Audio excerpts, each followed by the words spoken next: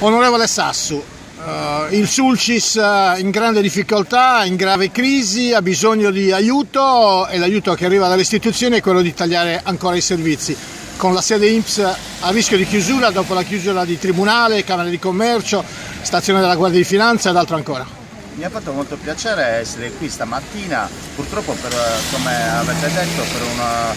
uno spiacevole eh, presagio di quello che potrebbe essere nel prossimo futuro. Cioè, quindi questo sito dei riformatori Ben Bang è stato veramente uh, un'ottima iniziativa per denunciare quello che l'Inps sta facendo non solo nei Sucis ma in tutto il territorio sardo. Chiudere dei punti INPS dove il territorio soffre, dove l'INPS eroga dei servizi fondamentali come quello di assistenza al reddito o quello delle pensioni è veramente un controsenso, è far odiare lo Stato dai cittadini, è far capire che lo Stato si sta ritirando eh, se eh, noi diciamo se i, privati, se i, privati, di cui devono investire eh, mentre lo Stato si ritira, il, pri il, privato scappa, il privato non verrà a investire dove lo Stato non ci crede.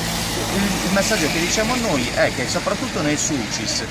lo Stato si deve far sentire, deve eh, mantenere i servizi e deve far capire al privato che qui può investire perché lo Stato ci crede e deve, soprattutto deve venire a investire trovando tutti i servizi a disposizione. I servizi non possono essere solo a Cagliari perché Cagliari sta soffrendo il, quello che la gente che viene giustamente a cercare assistenza e non è adeguato il, la struttura ad assistere tutti. La Sardegna ha una sua specificità, la Sardegna ha, diversi, eh, ha un territorio vasto, le persone devono poter restare in questo territorio, devono restare nei sulci se non emigrare, quindi soprattutto eh, l'Inps si metta l'anima in pace, mantenga il servizio com così com'è, anzi lo integri perché si sta prendendo altri anche incarichi come quello del